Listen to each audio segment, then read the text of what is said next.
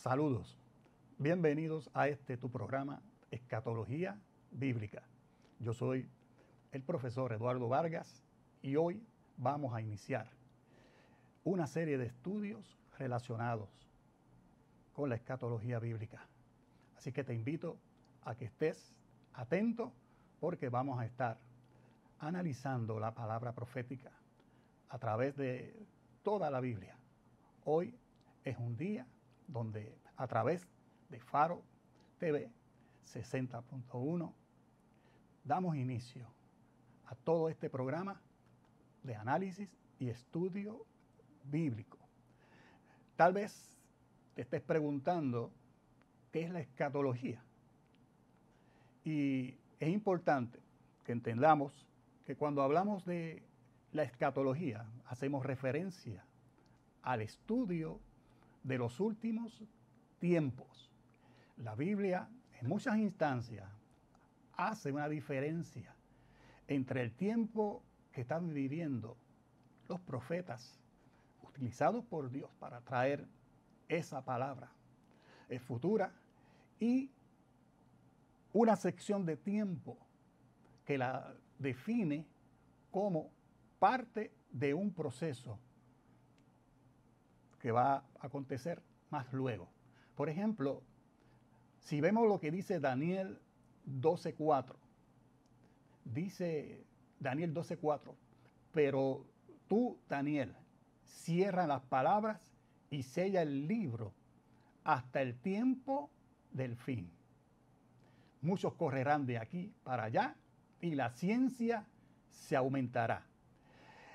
Existía una situación que Daniel la conocía a cabalidad y era que ya estaba llegando el momento cuando iba a finalizar ese proceso de cautiverio a través del rey Nabucodonosor. Y Daniel sabía que ya en los próximos días se iba a cumplir ese periodo de prueba.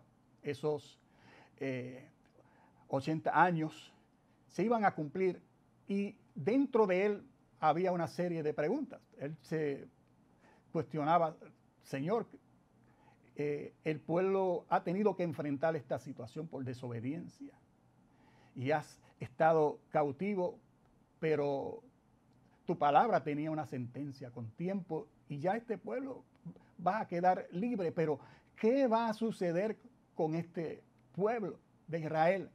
Y ahí es que surge la figura del arcángel Gabriel cuando le trae noticias.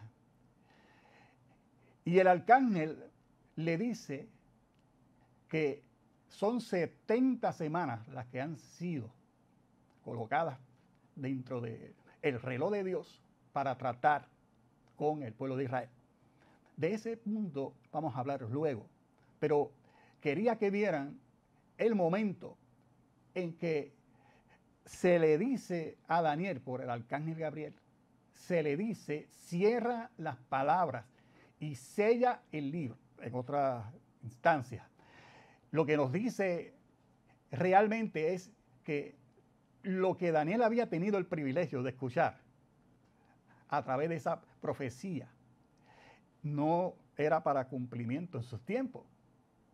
Había unos tiempos donde realmente esto iba a tomar acción. Y fíjense cómo dice. Y sella el libro hasta el tiempo del fin. Aquí tenemos una instancia dentro de la Biblia donde se nos habla de unos últimos tiempos. Existen otros pasajes, otros profetas que hacen referencia también a estos últimos tiempos. Por eso nosotros, cuando hablamos de escatología, hacemos referencia a ese tiempo final, porque existe un tiempo final.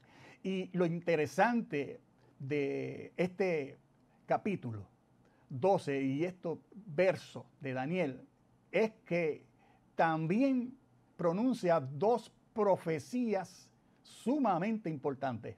La primera, muchos correrán de aquí para allá. Y la segunda, la ciencia se aumentará. Y recuerdo yo, y lo traigo como anécdota, eh, mi especialidad a través de los tiempos ha sido en la tecnología automotriz, la cual he seguido y sigo ejerciendo como profesor y escritor de libros, es que un momento para allá la década mediados de los 70 y principios de los 80, donde la NASA comenzó a hacer unos ajustes. Y gran parte de estos personal que eran ingenieros eh, fueron sustituidos. Se procedió a hacer una jubilación eh, muy bien compensada, pero eran ingenieros, eran personas que todavía tenían, eh, por así decirlo, una capacidad inmensa para seguir produciendo. Y en esos momentos la industria automotriz aprovechó a estos ingenieros y los comenzó a, localizar en distintas tareas con proyecciones hacia el futuro. Nada mejor que estas mentes que crean, como son los ingenieros. Y de ahí en adelante, pocos años después, la industria automotriz comenzó a experimentar grandes avances en cuanto al funcionamiento de los motores y otras áreas relacionadas. ¿Qué les quiero decir con esto? Que antes de esa década del 70, la ciencia realmente era inocua. No había muchas proyecciones. Y este evento, marcado en la historia, sirvió para que la ciencia aplicada en otras áreas que antes no tenían estas proyecciones, pudieran tenerla. Ahora, una de las señales más poderosas que hemos visto y que palpamos día a día es el aumento de la ciencia. En pocos años, si vamos a, trazar una fecha, eh, digamos desde el 80, estamos en el 2021, eh, apenas algunos 40 años, la ciencia ha tomado un auge de tal magnitud que impacta nuestras vidas diarias. Y eso es casualidad. Eso es lo que nosotros queremos que podamos entender. Eso no es casualidad. Eso es parte del cumplimiento. Daniel 12, 14. La ciencia se aumentará. Y el detalle es que la ciencia sigue aumentando de tal forma que vemos que el anticristo, en esa etapa final, cuando surja su figura, necesita de esa ciencia. Y de eso vamos a estar hablando en programas futuros, porque vamos a seguir llevando eh, esta línea para que usted entienda que realmente estos son los últimos tiempos. Son los tiempos donde Jesucristo viene. Y no podemos bajar la guardia. Este programa tiene como objetivo que tú entiendas la importancia de lo que es el estudio de los últimos tiempos. Y vamos a estar trayendo diferentes noticias con ese propósito. También observen que dice Muchos correrán de aquí para allá. La ciencia ha logrado eh, alcanzar unos niveles tan y tan altos que la aviación, por ejemplo, ha sido uno de los mecanismos que ha permitido que el hombre hoy esté en Estados Unidos y tal vez mañana esté en Rusia, porque la ciencia ha permitido toda esta tecnología. No es solamente la, la aviación, sino lo, que se ha logrado implementar en términos de satélites y todos estos sistemas electrónicos que han logrado crear un modo de vida mucho más sofisticado. Eso es parte del cumplimiento profético. Y eso es lo que nosotros queremos que usted entienda, que estos son los tiempos donde se va a cumplir literalmente ese proceso de esas 70 semanas, que lo vamos a estar analizando eh, más adelante para que usted entienda con más claridad de qué estamos hablando. Hay un detalle bien importante que quiero que usted entienda, y es en relación a la interpretación bíblica. Nosotros podemos correr el riesgo de eh, recibir enseñanzas que se alejan realmente de lo que Dios quiere, por así decirlo, indicarnos a través de su palabra. Por lo tanto, hay un detalle bien importante, y es en términos a las reglas, a los métodos interpretativos que nos ayuden a entender lo que realmente la Biblia dice. Lamentablemente, estos son los tiempos también profetizados donde se han levantado muchas personas enseñando doctrinas que van en contra de la Biblia. Y ese es uno de nuestros objetivos, que usted entienda la importancia de poder interpretar la Biblia en la forma más correcta, más eh, indicada. Por eso hablamos del término hermenéutica. Y cuando nosotros hablamos de la hermenéutica, realmente estamos hablando del arte de interpretar en forma correcta los textos bíblicos. La Biblia no se puede interpretar sin reglas, sin seguir unas directrices y direcciones. Por eso es que existen tantas falsas religiones, tantas falsas doctrinas. Y tenemos que tener la precaución de no caer y ser parte de ese proceso donde podríamos perder nuestra salvación simplemente por seguir enseñanzas que no se ajustan a la realidad bíblica. La primera regla de oro de interpretación es cuando el significado de la escritura salta a la vista. No busquemos otro significado. Debemos tomar cada palabra en su sentido primario y literal, a menos que los hechos del contexto inmediato aconsejen lo contrario. Tenemos que darle la mayor literalidad a lo que dice la Biblia. Hay personas que comienzan a inventar cosas. La Biblia es la palabra y la tenemos que recibir tal y como lo dice, a menos que surjan otras situaciones. Bien, a continuación vamos a seguir hablando de todo lo relacionado con lo que es la hermenéutica y vamos a entrar a evaluar lo que es la exégesis bíblica. Así que regresamos. La primera regla de interpretación bíblica, como dijéramos, nos la señala David L. Cooper, y va en esa dirección de que tenemos que darle toda la literalidad posible a lo que ese verso, ese pasaje nos indica. Eh, hay situaciones donde a veces cuando habla de 1260 días, y literalmente está hablando de días, tres años y medio, hay intérpretes que dicen que son 1260 años y se salen de los principios básicos de esta regla de interpretación. Tenemos que estar conscientes que la Biblia hay que permitirle que se interprete a sí misma. No vamos a buscar en otros libros, otros escritores que se pronuncien en relación a ese tema. Tenemos que permitir a la Biblia que se interprete a sí misma. En cualquier pasaje de la Biblia vamos a encontrar respuesta. Y esa es la fuente primaria para nosotros poder hacer una interpretación adecuada y correcta. Recordemos lo siguiente. Hay un dicho muy expresado a través de los tiempos que establece que un texto fuera de contexto es un pretexto. Y vemos cómo muchos se han levantado en esta generación y utilizan un texto que indica algo en específico para justificar una enseñanza que quieren proyectar.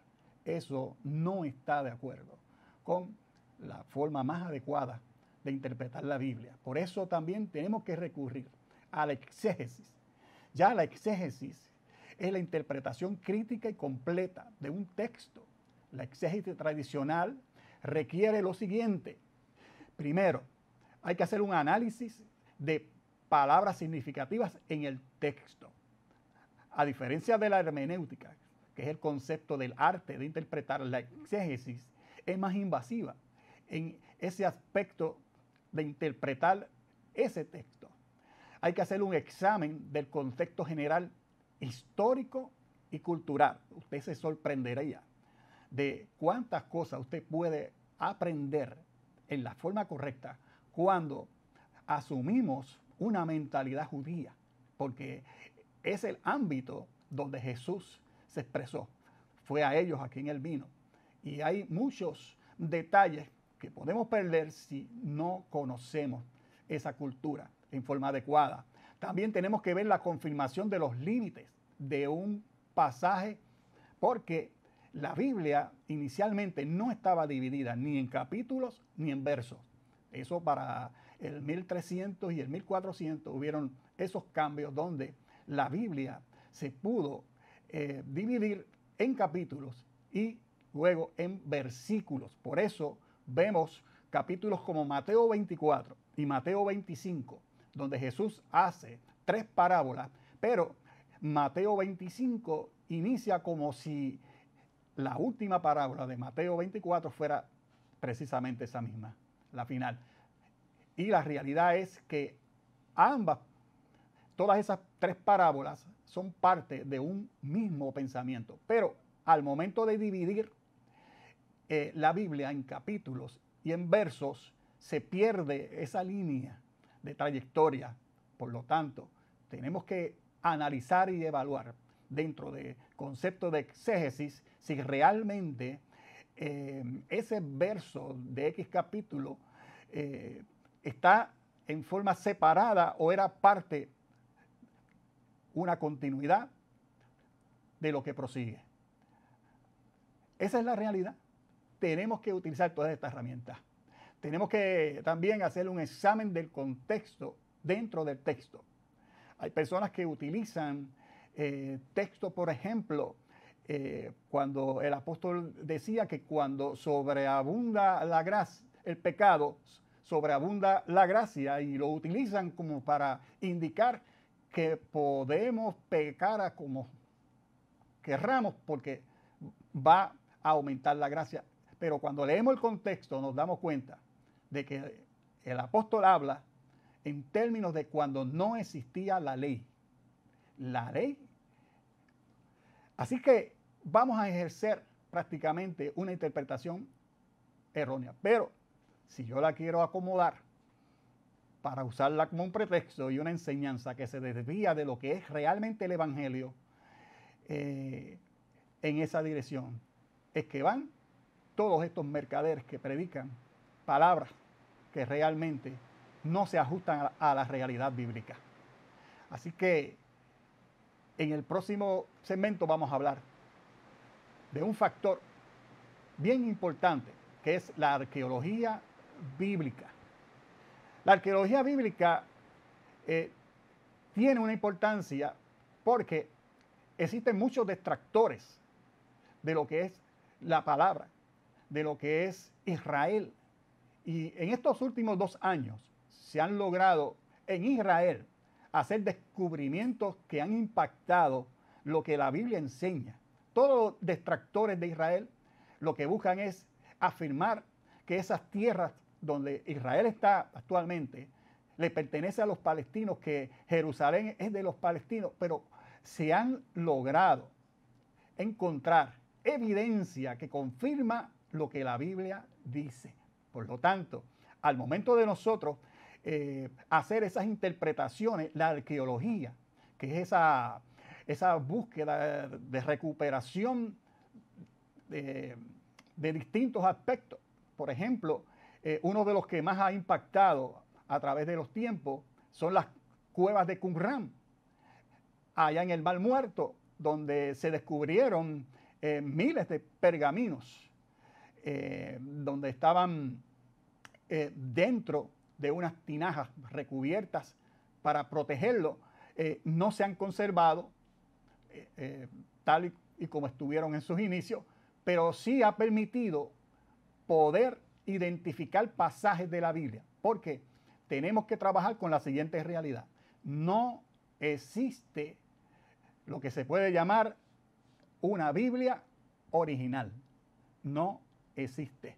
Por lo tanto, tenemos que trabajar con lo que se ha logrado descubrir y cuando se logran descubrir eh, estos pergaminos, como en el caso de las cuevas de Qumran, vienen a ser muy importantes porque confirman lo que la palabra dice.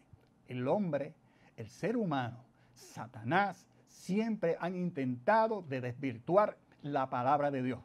Pero la palabra de Dios, tarde o temprano, Dios va a seguir su plan y va a hacer que aún la misma tierra provea todos estos materiales que conservan gran parte de lo que es la historia bíblica.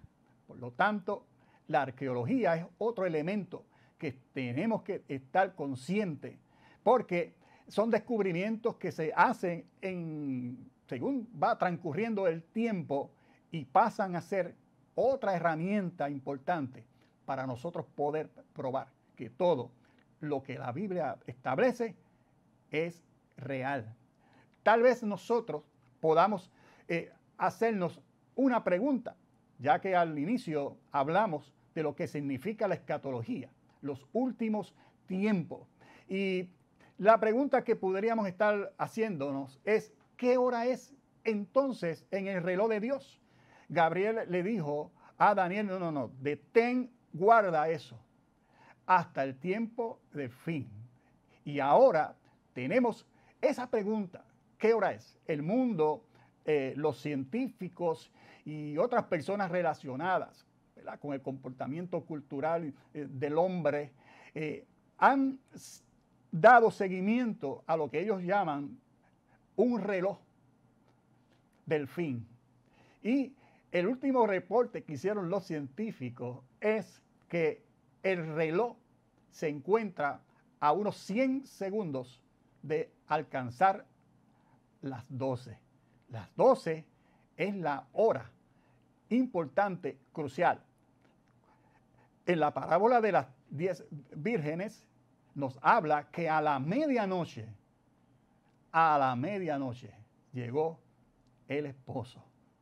En el reloj de Dios, falta muy poco para que esa medianoche llegue y alcance su cumplimiento. Claro está, para poder entender esto, tenemos que retomar la mentalidad judía de las bodas en los tiempos de Jesús. Y es que el novio iba a buscar la novia a la media noche. Esa es una pregunta que nosotros tenemos que reflexionar. ¿Qué hora es en el reloj de Dios en relación a lo que es la escatología, a lo que es los últimos tiempos? Estamos muy, muy cerca del cumplimiento de este reloj de Dios. Por lo tanto, nosotros tenemos que, como iglesia, estar atentos. Jesús lo dijo muy claramente. Cuando vean todas estas cosas, estos principios de dolores, todas estas señales, dice claramente que nosotros tenemos que hacer dos cosas. Erguíos y levantar vuestra cabeza. Esa es la actitud de cada uno de nosotros como creyentes. No podemos tener temor. No. Ante todas esas señales, Jesús no dijo, vayan y escóndase, compren un búnker. Jesús dijo, erguíos y levantad vuestra cabeza. Nosotros somos hijos de Dios. Nosotros somos personas que hemos sido lavadas por la sangre de Jesús. Y Él dijo, vendré otra vez. El reloj de Dios ya está cerca de las 12. A las 12, según la tradición de las bodas judías, el padre le decía al hijo, ve y busca a la novia. Ya esa hora está próxima a cumplirse. Y el padre le va a decir al hijo, a Jesucristo, ve y busca la novia. ¿Estás preparado? ¿Estás listo? ¿Estás erguido?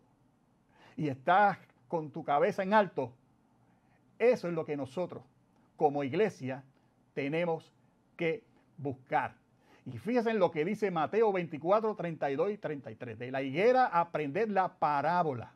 Cuando ya sus ramas están tiernas y brotan las hojas, sabéis que el verano está cerca. Si también vosotros, cuando veáis todas estas cosas, conocéis que está cerca a las puertas.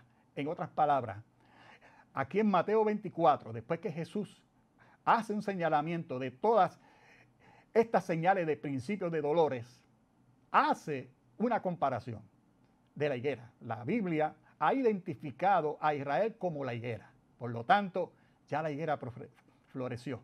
Un 14 de mayo de 1948, en un solo día, Israel se convirtió en nación. Así que Israel es la higuera. En el 1948, un 14 de mayo, se convirtió en una nación. Después de estar dos mil años deambulando por todas las naciones del planeta, Dios siempre ha estado en control. De ahí la importancia de estas profecías. Estos son los tiempos donde pronto el Padre le va a decir al Hijo, busca la iglesia. Ya las advertencias Dios las ha hecho en forma diáfana, clara.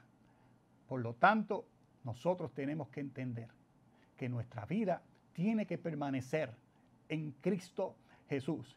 Israel está próximo a enfrentar la última semana, la 70. Así que estos son los tiempos. Más adelante vamos a hablar un poco más de lo que realmente significa esta 70 semanas y la semana 70 de siete años que conocemos como la tribulación y gran tribulación a los tres años y medio. Israel está sufriendo cambios drásticos actualmente, un nuevo gobierno. Irán, un nuevo gobierno. Por lo tanto, estos son los tiempos donde Dios está acelerando todo ese panorama profético y cuando menos lo espere el que no esté apercibido, va a sonar una trompeta y una iglesia, la novia del Cordero, va a ser trasladada hacia los cielos para iniciar el proceso de las bodas. ¿Estás preparado? Por eso nuestra invitación es en esa dirección, que usted entienda qué hora es en el reloj de Dios. Ya no hay tiempo. Dios está en control y su profecía va a seguir ese cumplimiento. Israel es el reloj de Dios. Por lo tanto, el Medio Oriente no debe de ser, por así decirlo, un área, un aspecto que podamos pasar por alto. No, nuestros ojos, nuestras miradas tienen que estar en esa dirección porque pronto, pronto hay una iglesia que se va, pero pronto, pronto hay unas guerras que van a iniciar. La guerra del Salmo 83, Isaías 17, Ezequiel 38 y 39 están a la espera. La iglesia verá estas guerras. Puede ser que vea la del Salmo 83, como que puede ser que sea levantada.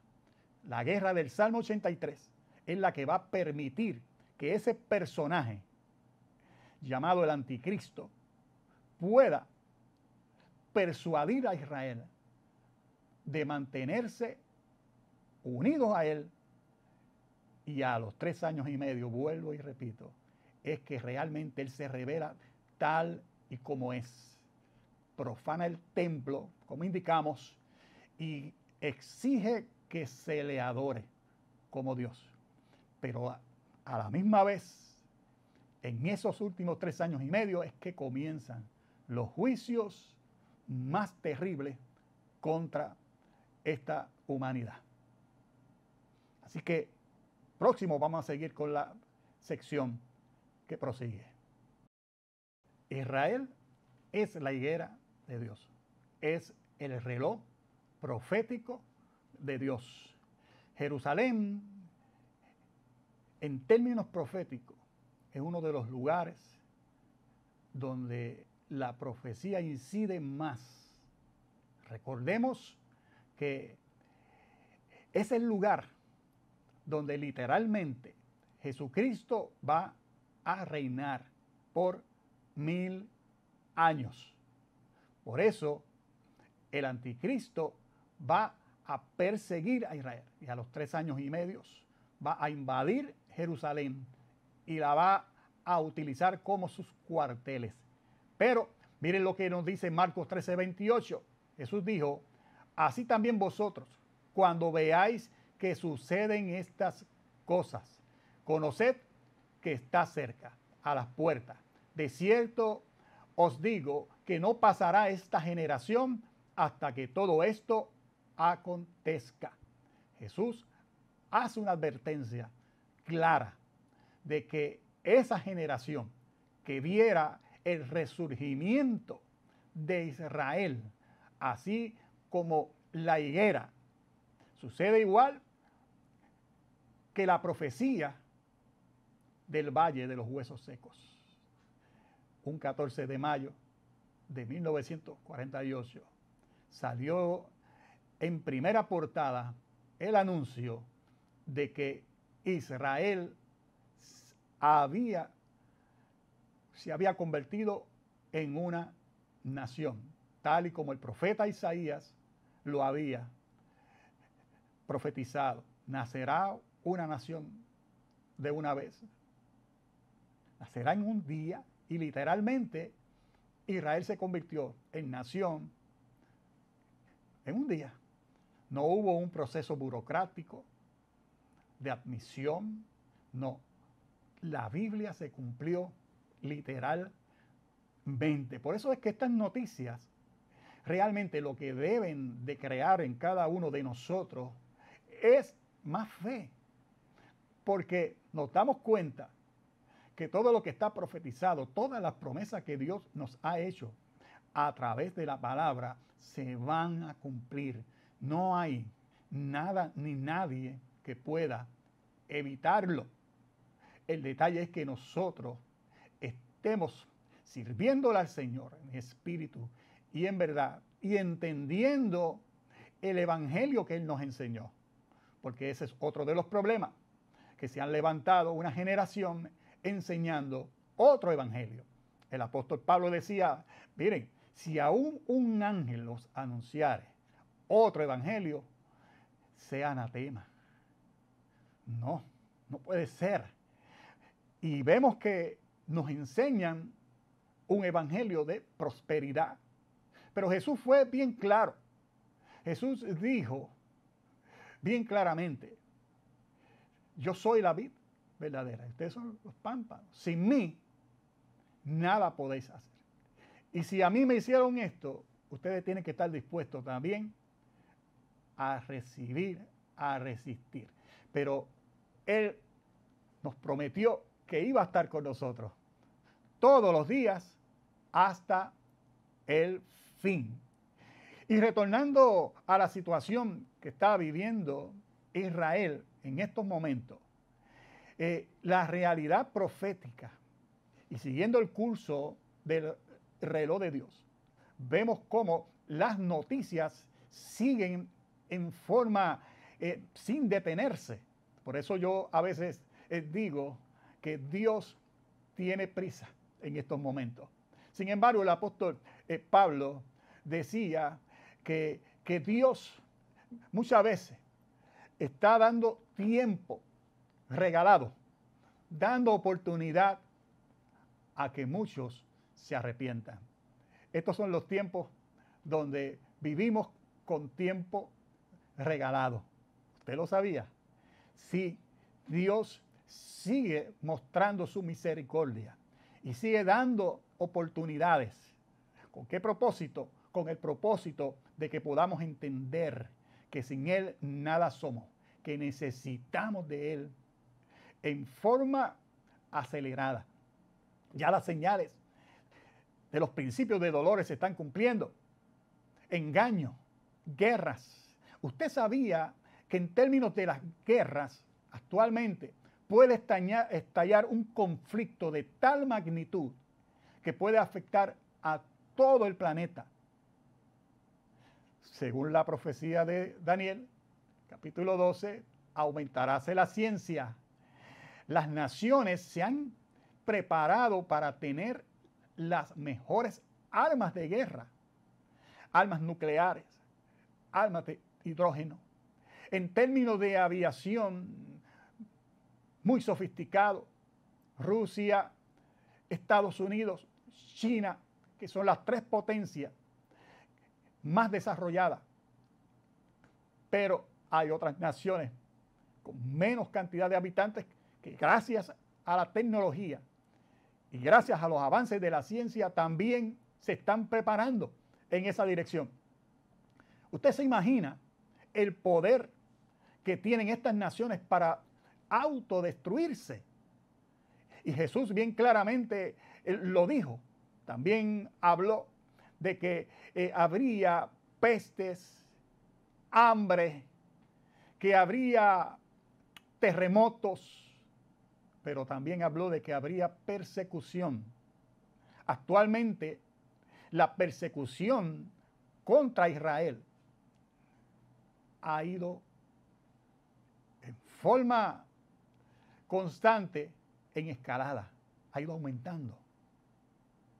Israel, dice la palabra, en el libro de Zacarías, habla que Jesús va a depositar sus pies sobre el monte de los olivos. Pero Zacarías también dice que Jerusalén sería puesta como piedra pesada. Y usted se imagina lo que es una nación relativamente pequeña como Israel y una ciudad como Jerusalén y que esta ciudad sea el eje de toda esta problemática entre judíos y palestinos a nivel mundial. Hay naciones que odian a Israel, sencillamente por toda esta situación que se está experimentando con los palestinos allá en estas tierras santas. Pero la realidad es que muy pronto, muy pronto pueden desatarse guerras. Ahora mismo salió un anuncio de Hezbollah presentando miles y miles de globos incendiarios que están a la espera de que le den el aviso, porque Irán está prácticamente, no solamente en Siria, sino también eh, ahí en la franja de Gaza, donde está este grupo terrorista bajo control, ¿verdad? conocido como Hamas. Las guerras van a iniciar. No nos deben de sorprender. Jesús nos dijo, cuando ustedes vean todas estas cosas, sencillamente erguíos y levantad vuestra cabeza, porque vuestra redención está cerca. Una generación, según decía el salmista, puede durar 70 años y lo más robusto, 80. Hay personas que se han atrevido a utilizar lo que este salmo establece y suman el 1948 más 70 años o más 80 años y precisan la fecha eh, donde realmente debe de eh, finalizar, porque Jesús dijo que no pasará esta generación sin que ante todas estas cosas acontezcan. Pero la realidad es que Dios es soberano. Por eso el apóstol hizo un señalamiento a la iglesia cuando dijo, el Señor no retarda su promesa. Dios da oportunidades y nosotros tenemos que entender que esas oportunidades va a llegar el momento que van a tener su fin. Por lo tanto, estos son los tiempos que Dios ha permitido que nosotros vivamos. Son tiempos donde nosotros como iglesia también ya estamos experimentando persecución. Han habido múltiples eventos en iglesias, en bautismos, donde gente despiadada, con su mente completamente subyugada por el enemigo, han atentado contra la iglesia. Por lo tanto, no creas que nosotros estamos exentos de recibir esa persecución. Ya se está sintiendo, ya se está haciendo. Pero una vez la iglesia sea levantada, entonces sí que esa persecución va a ser mucho más fuerte.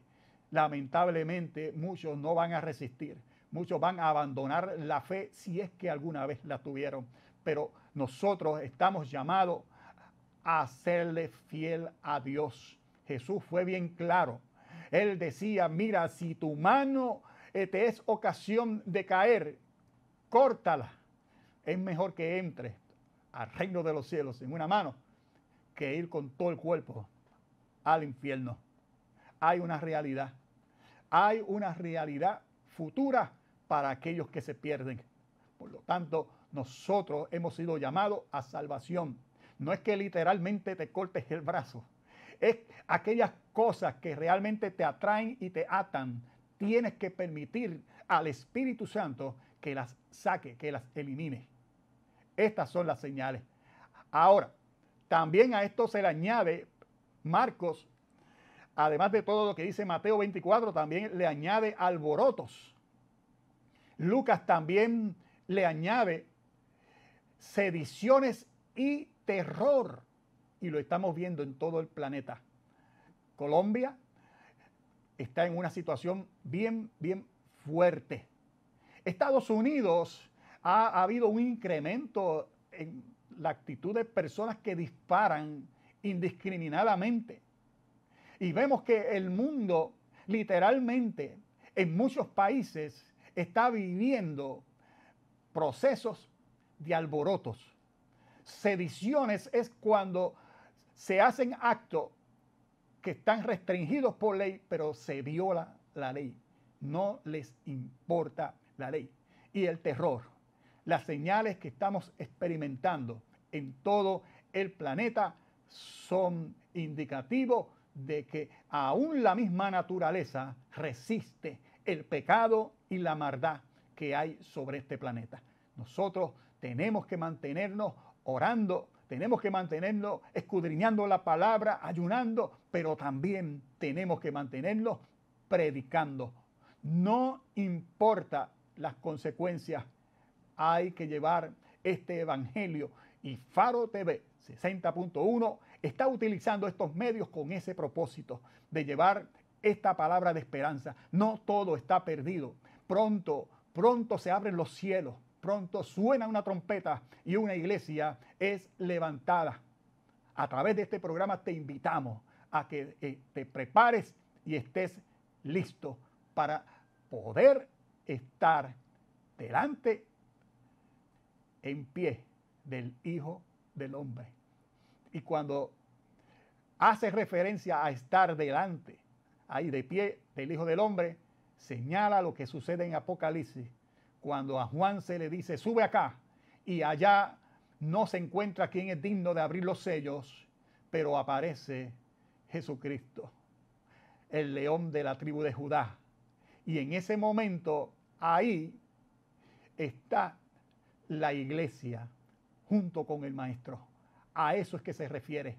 A que cuando llegue el momento que Jesús vaya a abrir el primer sello, usted se encuentre digno de estar en pie delante de él, como así lo estuvo el apóstol Juan. Así que es importante que podamos entender estas señales que nos advierten que esto no es un juego, que esto es una realidad son tiempos de esperar al novio. Así que, ¿estás esperando al novio? ¿Te comportas como la novia? En los tiempos de la boda del maestro, la novia tenía que esperar al novio. Podía tardarse un año o dos años, según la tradición. Y llegaba a la medianoche. Ya se acerca la medianoche. Ya llega pronto. Tú estás preparado. Así que te invito a que puedas recapacitar en tu vida. Y todo esto que estamos hablando a través de este canal, tú lo puedas insertar en tu corazón, en tu alma, en tu espíritu. Así que seguimos a continuación.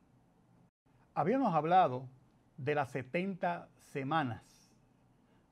Hablamos ese momento cuando el arcángel Gabriel se le revela presencialmente a Daniel. y les pone la situación que había enfrentado. Desde el primer momento que Daniel oró, a Dios salió la respuesta. Pero el ángel tardó 21 días en llegar y darle esa palabra profética de esa preocupación, que tiene que ver literalmente con Israel. Por eso decimos que Israel es el reloj de Dios. Es esa brújula que debe de guiarnos en la dirección correcta en relación a estos últimos tiempos, estos últimos días. 70 semanas. Transcurrieron 69 semanas. La profecía decía desde el momento que salga la instrucción de la reconstrucción del templo. Eso fue en los tiempos de Altajerjes y Nehemías. Hasta el Mesías. Y van a transcurrir siete semanas, 49 años, en esa reconstrucción de los muros de la ciudad, gracias a Altajerjes. Nehemías era el copero, pero estaba triste, estaba preocupado. Y Altajerjes dijo, ¿qué te pasa? Le explicó y le dijo, vamos, sigue. Y lo envió con, con alimento, lo envió con seguridad, con guardias. Y muchos conocen cuál fue el resultado. Fueron 49 años fuertes, no fueron fáciles, pero se cumplió literalmente tal y como la Biblia habla. Después de ese momento transcurrieron 62 semanas más hasta que llegó el Mesías, Jesucristo. Y ahí vemos que Jesucristo literalmente completó la semana 69. Cuando hablamos de semanas, hablamos de periodos no de siete días, sino de siete años. Por lo tanto, ya habían transcurrido 493 años cuando Jesús entró montado en un pollino a través de la puerta dorada que daba directamente al templo. Y allí fue recibido y el público israelí le decía, Osana, Osana al rey. Sin embargo, Jesús, según entraba, hizo un señalamiento porque a Jesús nada se le escondía. Él escudriñaba hasta lo más profundo. Y él sabía que lo que había realmente no era algo real. Y les dijo, si ustedes supieran el momento en que yo estoy pasando a través de estas puertas doradas. Como decía el salmista, alzaos, oh puertas eternas. ¿Y entrará quién? El Rey de Gloria. Jesús, el Dios de los cielos, entró tal y como lo describió Zacarías también, montado en un pollino. Ahí se cumplió la semana 69. Y usted dirá, ¿y cómo se logra identificar esto? Precisamente hay un observatorio de Greenwich, allá en Inglaterra, que es un observatorio que tradicionalmente en sus inicios, para allá para el 1600 algo, eh, se utilizaba para proyectar todo lo referente a la navegación. Ahora se utilizan satélites, GPS, eso no existía y aún los que transitaban a través de los mares utilizaban todas las referencias que le proporcionaba el Observatorio de Greenwich, que actualmente todavía existe, aunque es realmente un museo en estos momentos. Pero este laboratorio, eh, observatorio, eh, logró en cierta medida identificar fechas en relación a lo que tiene que ver con la astronomía y el área y comportamiento terrestre de los mares. Y permitió identificar inclusive las fechas en que esto sucedió. De hecho, Jesús entró montado en un pollino a través de esa puerta dorada un 30 de marzo del año 33. Un 30 de marzo. Cuatro días después, esa misma multitud que le decía, Osana, Osana, decían, crucifícale, crucifícale, un 3 de abril. Y estas fechas se han obtenido por todos estos estudios y análisis que se han logrado con el Observatorio de Greenwich.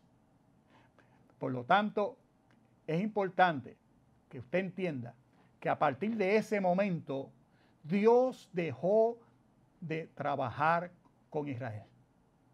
La semana 69 llegó hasta ese momento.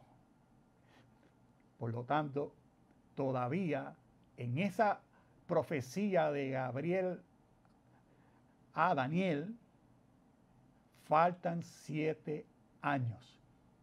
Y esos siete años son los que pueden iniciar en cualquier momento. Pero la iglesia se va antes. Porque tienen que ver con Israel. No tienen que ver absolutamente nada con la iglesia. Es un trato de Dios con Israel donde los va a llamar a cuenta. Es un trato de Dios donde todos los malignos, toda la maldad al final de ese periodo va a ser totalmente erradicada. Vienen los juicios más terribles que la humanidad haya experimentado. Todo el principal causante de todo esto se llama el ser humano, que no ha sabido proteger sus recursos, que ha querido alterarlo todo creyéndose Dios, pero esto va a llegar a su fin. Así que cuando hablamos de las 70 semanas, hablamos de ese proceso histórico relacionado con Israel. Enfatizamos, Israel es el reloj profético de Dios. Ahora, ¿qué va a suceder literalmente si proyectamos lo que tiene que ver con los tiempos. ¿Qué va a suceder? Esa sería la, la pregunta. Y hay una gráfica bien importante donde nosotros podemos ver lo que va a suceder literalmente en esos siete años, pero lo que ha sucedido a través de esos 483 años que suman 490. Miren, si algo yo les puedo asegurar como estudioso de la profecía bíblica es que no hay absolutamente nada que se pueda quedar en el aire. Todo se va a cumplir literalmente. Esto no son juegos. Se levantó un sector hace algunos años estableciendo que la iglesia iba a implementar un reino sobre el planeta. Muchos aprovecharon la ignorancia de personas que no escudriñaron la palabra y realmente lo que hacían era ostentar lujos y mantenerse viviendo como reyes. Esa es la realidad. Ese no es el Evangelio que nos enseñó Jesucristo. Y va a llegar el momento donde si no se arrepienten, van a experimentar los juicios más terribles de parte de Dios. Es tiempo de que eso lo podamos entender. Ahora mismo, miren, si Dios está en control. Hay un día muy especial, pero en forma trágica para Israel, que es el 9 de Ap. Israel utiliza el calendario lunar de 360 días, no el de 365 que utilizamos nosotros. Por eso hay fechas y meses en el calendario judío comparado con el nuestro que no van a coincidir porque tiene menos días que el gregoriano. Ahora, hay una realidad. Eh, ese primer templo eh, fue reconstruido básicamente durante esas siete semanas iniciales. A Dios la autorización a Nehemías para que así se hiciera. Ese templo fue destruido un 9 de Ab. El segundo templo, que fue el templo eh, donde Jesús echó fuera a los que mercadeaban, también fue destruido un 9 de Ab. Dios en su calendario tiene registros de cómo se va a proyectar toda esta profecía. Eso nosotros lo podemos corroborar en el análisis y seguimiento de todas estas profecías. Una vez Jesús entra montado en un pollino por esa puerta dorada, ahí cesó el trato de Dios con Israel. Y ahí Jesús le dijo a los discípulos que tenían que esperar que Él iba a enviar al consolador. Una vez aquellos 120 que permanecieron hasta el final recibieron el bautismo del Espíritu Santo, ahí dio inicio la iglesia, la época de la iglesia. Pero la época de la iglesia tuvo su inicio, pero también va a tener su fin.